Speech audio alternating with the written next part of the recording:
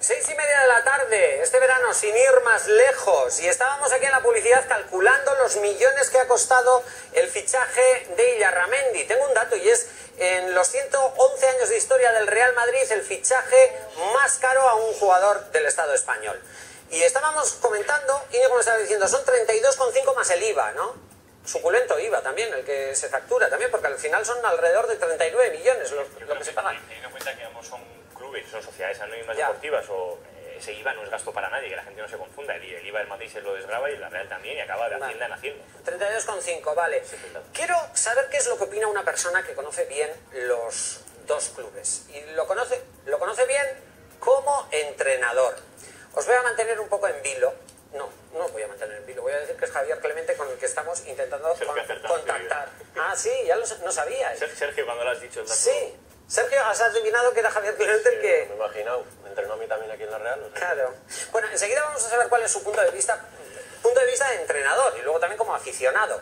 Eh, ¿Vosotros entendéis eh, las reacciones de la gente? Quiero decir, en el caso de Yarramendi, en Zubieta, el día que se iba, tuvo ovaciones y también alguna que otra voz que le llamaba pesetero. Sí, entiendo. Obviamente se identifica con unos colores, con un escudo y al final, pues, pues, bueno, hay muchas veces que el corazón puede a la cabeza y bueno, todo ese tipo de expresiones del aficionado yo lo veo normal, pero bueno, luego también hay que ponerle un punto de cordura.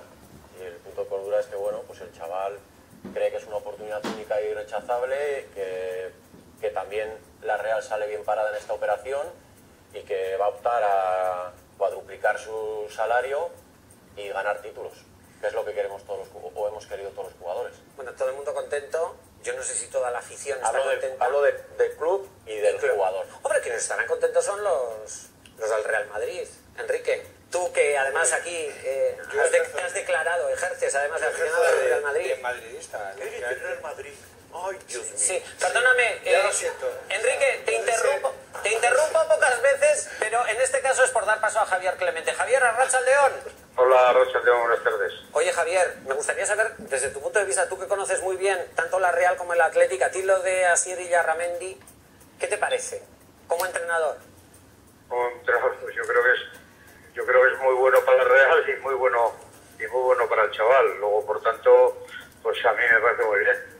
¿Te parece bien? Ojalá, ojalá tuviéramos un jugador de estos todos los años para traspasar. Un, Javi, Martínez en el Atleti y un Illarramendi en la Real todos los años. ¿Y dónde queda, pues la, sí, Javier, ¿y dónde queda la, la, cantera, los colores, el apego al club? Bueno, yo creo que con este tipo de traspasos lo que se hace es poder fomentar la cantera, porque si no hay un momento que la cantera no se podría ni pagar, porque la cantera algunos creen que es barata, pero es muy cara. Entonces, eh, estos jugadores, estas figuras que se traspasan y que el club, pues primero se le saca un rendimiento al chaval y posteriormente, pues bueno, cuando se llega a unos presupuestos o a unos, unas compras de este nivel que solo las compran los clubes como Real Madrid o Barcelona o algún extranjero de, mucho poder, cuando ocurre eso, que es una vez cada 10 años, pues oye, no hay, no hay que desaprovecharlo. Aparte que el chaval es un profesional y dices, bueno, los sentimientos y los colores están muy bien, pero, pero el chaval a los 30 años va a dejar el fútbol y, no va a buscar trabajo. Yo creo que es una solución para su vida, es un nivel mucho más alto el que, el que tienen el resto de los jugadores en, la Liga Española y, ya te digo, para mí me parece muy bueno para la provincia, muy bueno para Hacienda, muy bueno para la Real Sociedad y muy bueno para el chaval. Hombre, lo único los aficionados...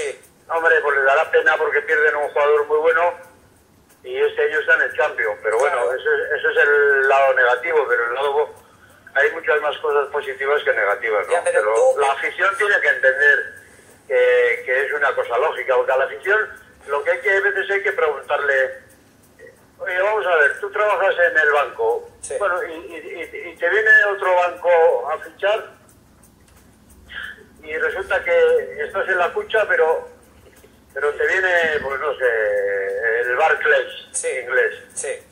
Y, te ofrecen 10 veces más.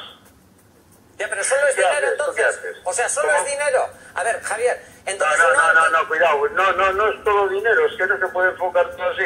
hace unos meses estuve llamándos al programa Sí, dime. eh, y no, no hubo forma de contactar. ¿Por- Cuando, por qué? cuando salió la subvención, eh, estabais discutiendo vosotros en el, eh, teníais el debate de la Diputación de Vizcaya había ofrecido X dinero al, al, al Bilbao Basket por, Sí. por una- un problema que tenían de X dinero y bueno, y mucha gente llamó que es una vergüenza, que no sé qué, no sé cuánto. Sin embargo, ahora, mira, eh, un jugador de fútbol eh, que se va al Real Madrid, la hacienda, la hacienda guipuzcoano va a recuperar 6 o 7 millones de IVAs. Cuando hay un partido en, en la Noeta, tienen 2.000, 3.000 de fuera, o 4.000 o, o 500. Y viene mucha gente a comer. Esa gente deja dinero en la provincia. Esa gente deja eh, IVAs eh, para la Diputación. Los comercios de Guipúzcoa, se- lógicamente, ganan dinero y se mantienen. A su vez, pagan impuestos.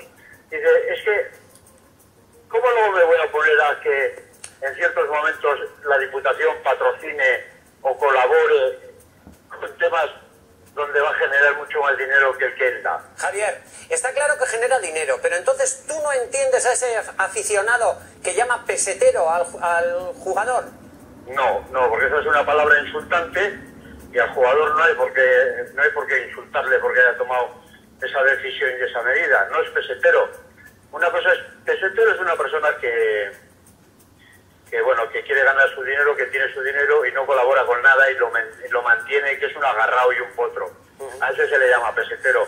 Pero una persona que a nivel de profesional deportivo y que a su vez, y que a su vez tiene un cambio, aunque cambie de club no va a dejar de querer y a no hay que dejar de querer a la Real Sociedad, ni mucho menos. Y Xavi Alonso es exactamente lo mismo. Y, y Andoni Imas que vino al Atleti y ahí va y, y, los que están entrenadores ahora en la Real Sociedad resulta pues que, que han estado también en el Atleti en su momento oportuno y que, hay una cosa de que se venden y que se compran y, que todo es beneficio para el club. ¿Por qué hizo la Real Sociedad una ley concursal? Pues porque había, por mantener el equipo en primera división, había unos gastos que la masa social de Guipúzcoa no pudo mantener una Real Sociedad sin hacer ley concursal. Entonces, como no, no pudo pedir más a, la, a, la, a, la asociación, a, vamos, a los socios de, de Guipúzcoa, pues lógicamente entró en pérdidas, hizo una ley concursal y, y bueno, y luego la soslayó y la ha solventado fenomenalmente bien. Javier. Pero ahora, ahora tiene una oportunidad que es económicamente, son clubes modestos, pues se necesitan este tipo de vez en cuando. Ojalá, ya te digo, ojalá hubiera una, uno todos los años, porque con esto lo que hace es pagarse cuestiones y, y- y comprar cosas. Inye- Inyección económica, interesante punto de vista que nos ha dado Javier Clemente. No, pero- Pero, Javier, lo digo porque tengo poco tiempo. Solamente te voy a decir una cosa. Me, me apena que hayas querido intervenir en otro debate. A ver si mm, hay- encontramos la manera de que en otra ocasión que tú quieras también puedas No, no, participar. no, ¿eh? no pasa nada, porque lo que la Diputación de Guipúzcoa debe de decir de vez en cuando es lo que el deporte revierte en la Diputación y si hay otro gremio que aporta aporta tanta economía como, como da el deporte a, a Guipúzcoa. Dicho- Eso es, lo que tiene, eso es lo que tiene que decir cuando se creen este tipo de debates. Que sea la propia Diputación la que diga, oiga, Bueno. nosotros damos mil porque, porque sacamos diez mil. Eh, Eso es lo que, lo que tiene que aclarar. Dicho queda por Javier Clemente. Javier Venga. Escarricasco, muchas gracias. saludo, un saludo. Gracias. Eh, bueno, queda abierto también el teléfono para cualquier representante de la Diputación que quiera intervenir al respecto.